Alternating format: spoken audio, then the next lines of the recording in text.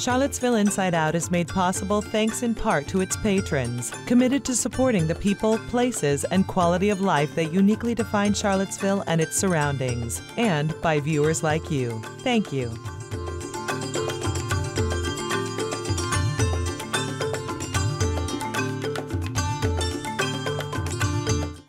We grow our grapes with the help of the insects and also the wildlife around. At the ballet, at the ballet. My parents were really relieved that I could say, I have a job post grad for musical theater. For WHTJ, I'm Terry Allard, and this is Charlottesville Inside Out.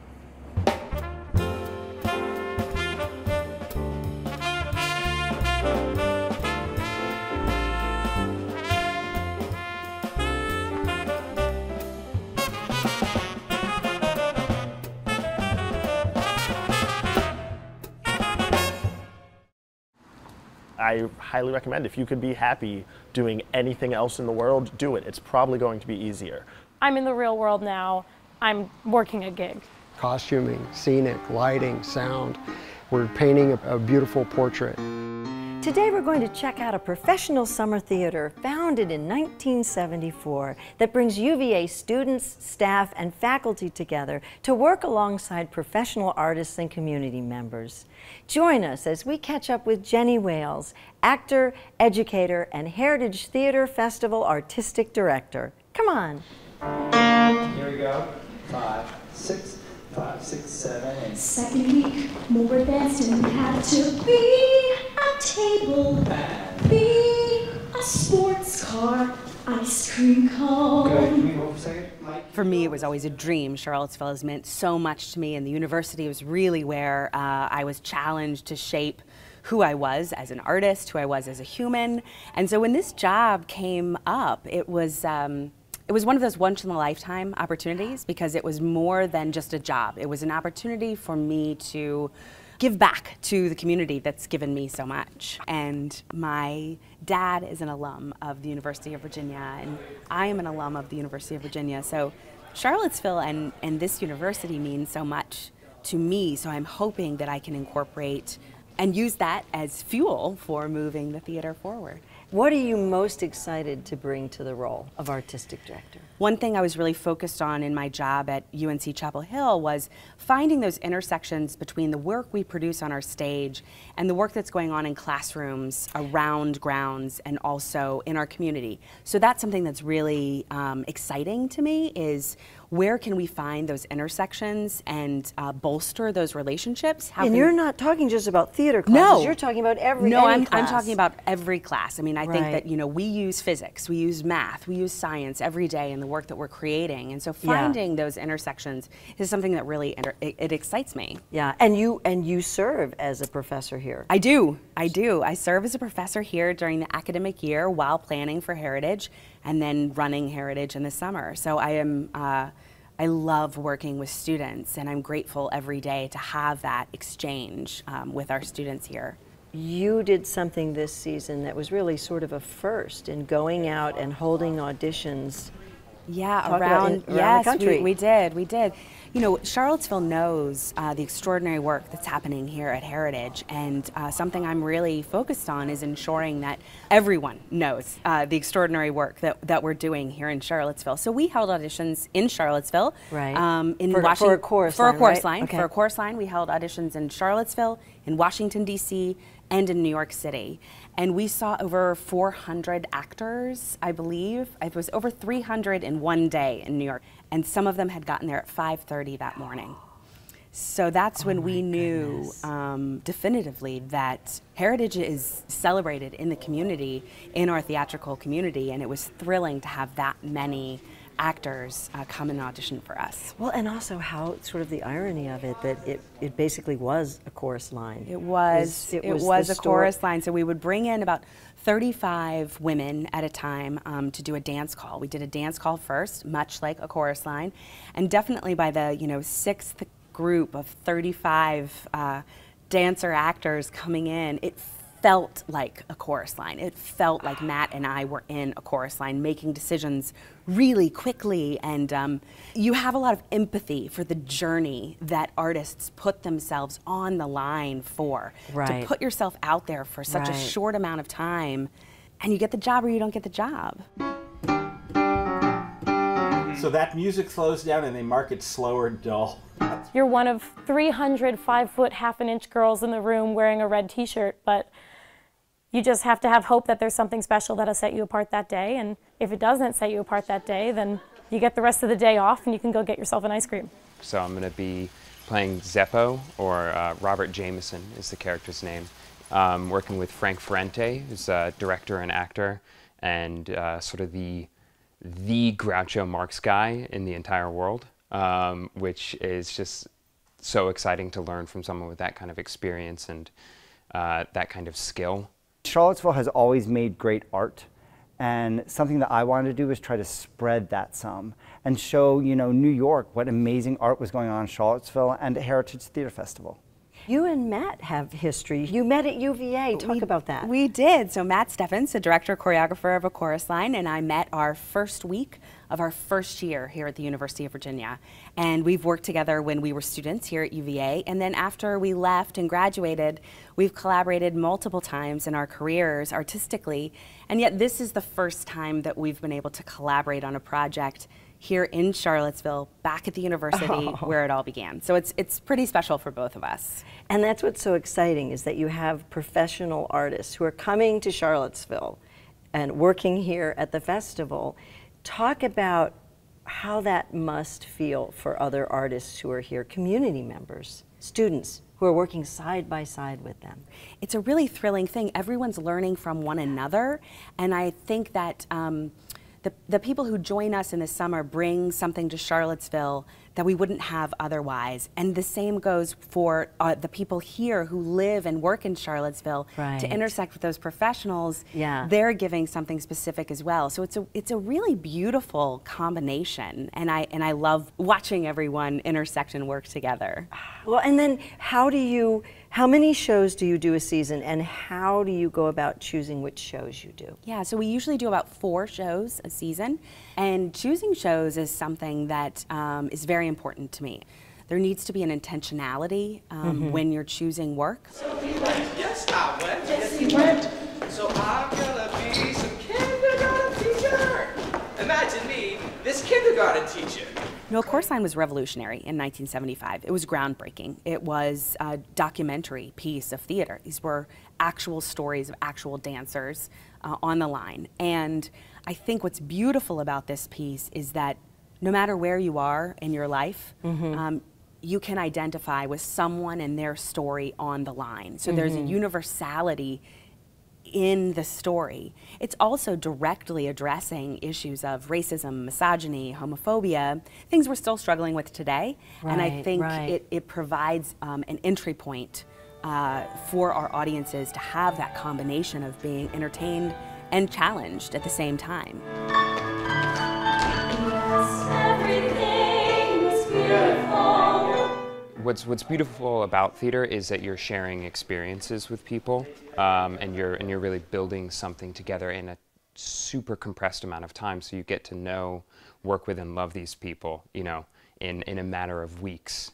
It's nice to be in a city where people stop and say hello to you or ask you how your day is when they're complete strangers. It's a very tight knit, warm, welcoming community. And for me, it's been great just because I've been reminded of a bunch of things I love about the art and the craft that I had probably forgotten by being in the city so long. The Drama Education Building is sort of uh, an odd place in that it has to create an education environment for students during our academic year. But during the Heritage Theater Festival, we open up all three theaters. We can have a really high quality professional experience. And then during the school year, have a great environment for students. You know, for two hours, a group of people that might not ever come together ever again go on a collective experience together. And that's the joy of theater. This theater has such great history. So there's a part of you I know that wants to continue tradition, but at the same time move it in your own direction. So how do you how do you do that? I think it's a balance. Right. Um, I'm a different artist and a different person than anyone who has been here before, and that will influence the decisions that I make and um, my programming and, and, and how we move things forward. But it's it's a tricky thing. There's been a lot of talk about change, and change for me is um. You it's don't a use difficult, that I don't word. use that word. What is your word? It's a difficult word. I like to use shift. Shift. I It's like to use shift because there are things that I think when people hear change, it's um, it's shocking, it's overwhelming, and it's not that I am moving the theater in, in a radical direction in a different way that doesn't honor what it's been. I'm trying to take my skill set and my life experience and bring that to where heritage is now. And with such a appreciation of this school and heritage Yes. and the community, you Yes. have that. I do, I do. And so, what does it take to run a professional theater? I mean, you tell us about your team because you have you have a huge team. You have to have a team. First of all, no one does it alone. I mean, it is an incredible team. Everyone is working at the top of their um, ability and is pulling really long hours and has bought into the idea that what we do is making an impact. So I think to run a theater, you need patience and generosity and flexibility and uh, a sense of humor.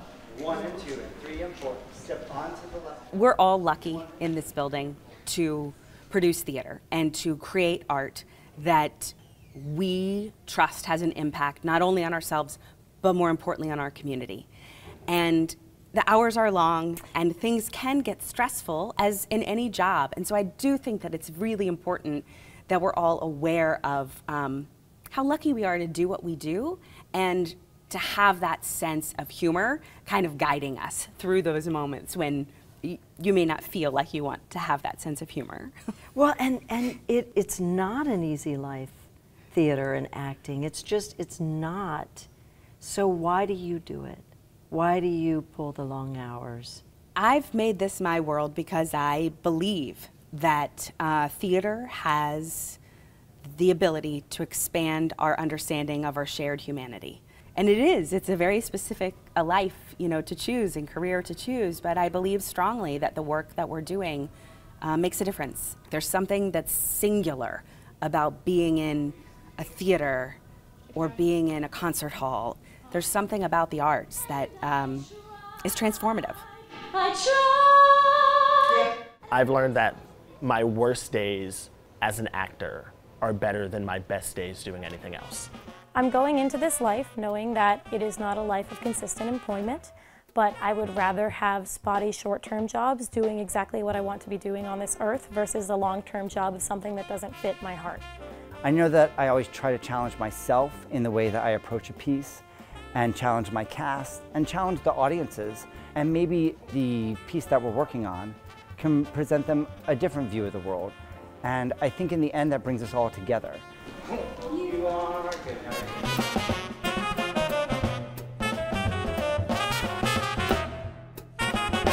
Working on the vineyard makes you feel invested in the vineyard and like come see my vineyard and then i also enjoy tasting that's really not part of the wine club although we do have awesome lunches We're going to call it four hours.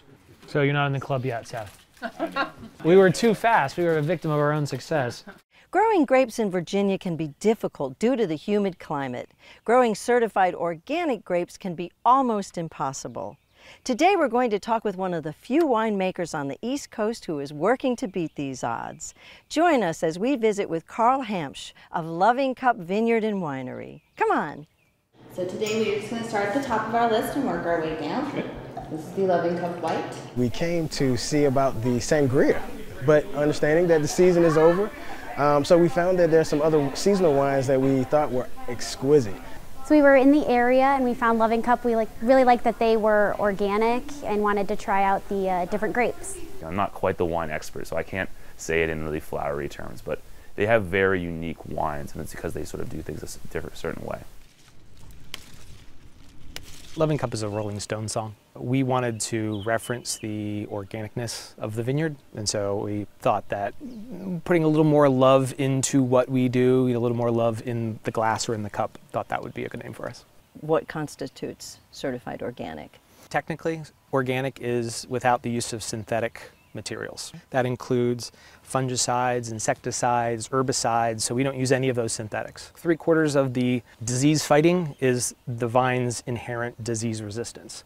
And then Right. last quarter is, is what we do. So shoot positioning, leaf pulling, uh, all canopy management in order to keep the whole thing uh, open and airy. Um, if we miss any handwork, then we usually have an increase in diseases.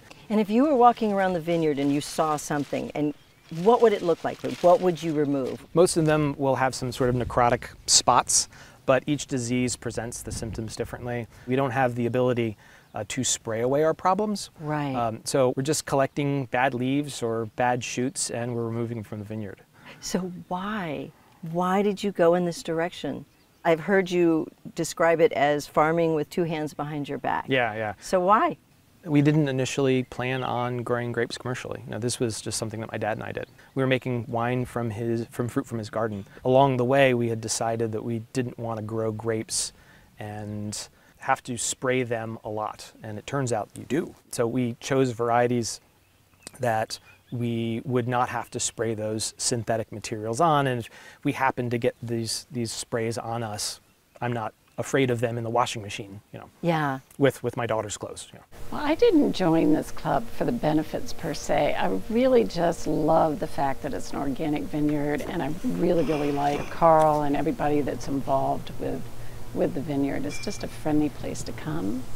Probably, I mean, I first came here because it was organic, and I thought that was interesting. And how could it be organic and no one else is? And then I really appreciate working in the field that it's organic. One intriguing part is that we put little paper bags on the clusters to prevent spread of disease, and that's a really tedious task, but according to the results, has been pretty helpful. We normally go out and we, we pull disease out, but this year it was so much rain, there was so much disease that we, we couldn't get it out fast enough. I hope that the 2018 season is just simply a blip. 20 years from now, we'll say, wow, we learned a lot, uh, as opposed to tw 2018 being, you know, the season that, that took us down. It's just another challenge, and, and, and hopefully we have everything in place to overcome it. Talk about the role that insects play out here in the vineyard.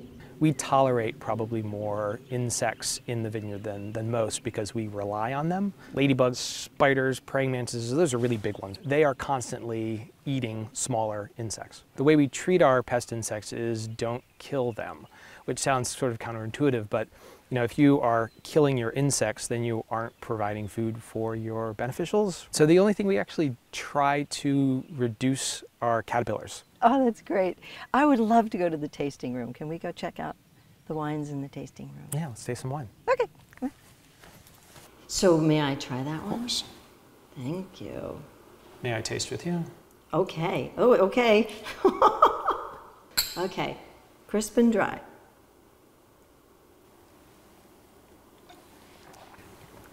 Oh, that's nice. That's really nice. Thank you. How do people know that this is really certified organic? The vineyard got certified first in 2012 before our first harvest, and the winery was certified a few years later in 2016. And because both the ingredients and the, the winery, the facility that makes the wine, those are both organic, then you can qualify for organic labeling. So how does the customer know it's organic? Because the word organic is on the label. And it's really hard to do. Every year you get inspected, every year you send in a very long application, and for us it's two long applications because it's both the vineyard and the winery. You've been doing this since 2007, 2008 was when you started playing with grapes, and 2014 was when you opened the tasting room. Correct. So your goal every year, I, I imagine, grows. How many how many cases of wine are you setting as a goal for this year? We probably were in the neighborhood of about 500 cases. So we're tiny. I mean, Virginia's tiny on the world scale, Yeah. um, and we're tiny even on the Virginia scale. So eventually, we probably could max out at 1,500. And then you have this incredible wine club. Talk. It's very different from any wine club I've ever heard of. We have potentially the most exclusive wine club in the state. um, You can't buy your way in, you have to work your way in. Yeah. And they get a they get a 25% discount. Yeah, they, they get the family discount, which is nice. And a lot of them are really interested in, in growing grapes, and maybe especially in learning how to grow organic grapes. You guys are so fast. I want everyone to come back when we do the red. I've been a club member for about three years. And the reason why is I love this vineyard. I love the wine. I love the fact that it's organic. My first thing was um, running grapes through the press. And I worked in the field planting and harvesting and bagging and leaf pulling and pruning. And today we're bottling. So I was in charge of like putting the cork on the wine bottle, uh, which is the I think the most intense labor activity. I'm the only college student working here, so it was great to sort of meet a couple other locals who've been doing this for years. When we get to this point, we need to look at what our level is in the tank to see if like we need to do more right away or not. In a perfect world, we finish by lunchtime.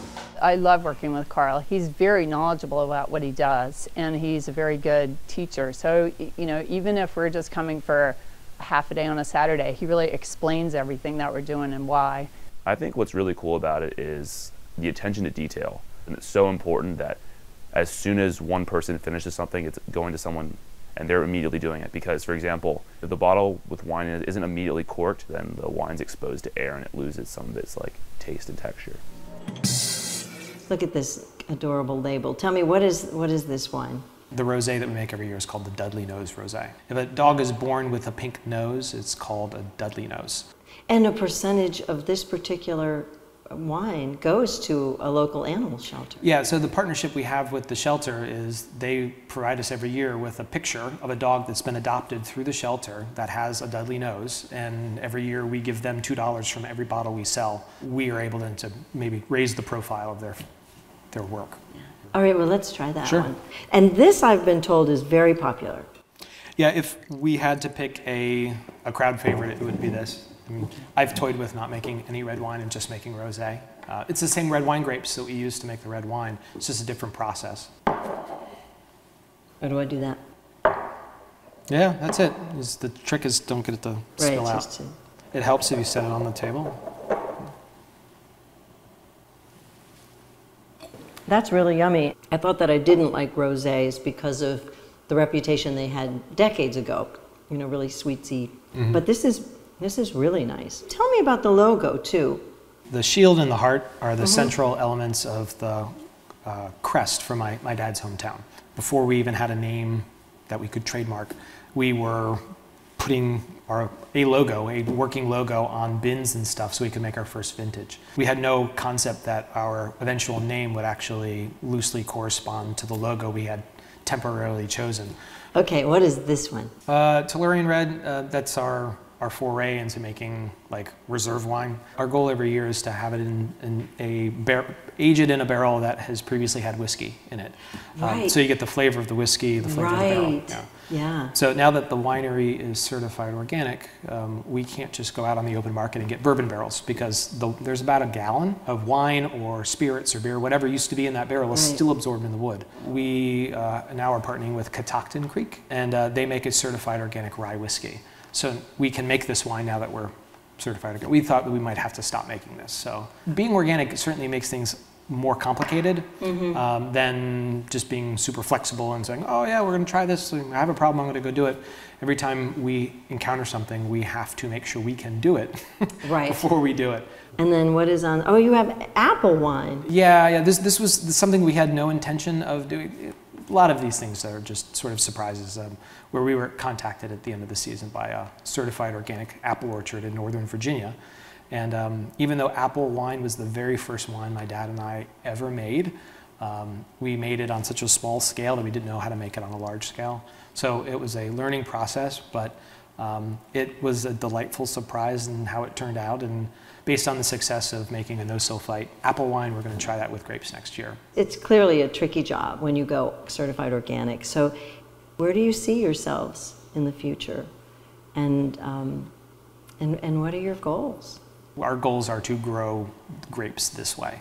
And at the end, if we've done our job the right way, then the wines taste good. I don't see us having a huge vineyard or a huge winery because we're just so labor intensive out there. And if we grew more grapes than, than we could manage, then the wines wouldn't be very good. So we might have some growth, but we have to have balance the whole way. And so um, I'd just like to maintain, um, you know, keep doing what we're doing. Well, it's a special place, and we really appreciate you having us out here today. Thank you for visiting, Terry.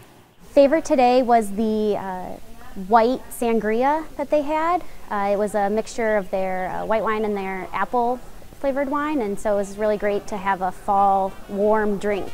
The tastings were more focused on the seasonal taste, uh, and that seasonal taste is cinnamon, and it's apple, and it's delicious, and it's Virginia apples, uh, which we love. The owners are marvelous people. It's a great little spot. It's cozy. The people are really friendly. The wine's really tasty, and I would really recommend coming. To you guys, Cheers. job well done. Cheers. Cheers. Mm. Oh, it's good. The dream team. That's it for this week. For WHTJ, I'm Terry Allard. Join us next time on Charlottesville Inside Out.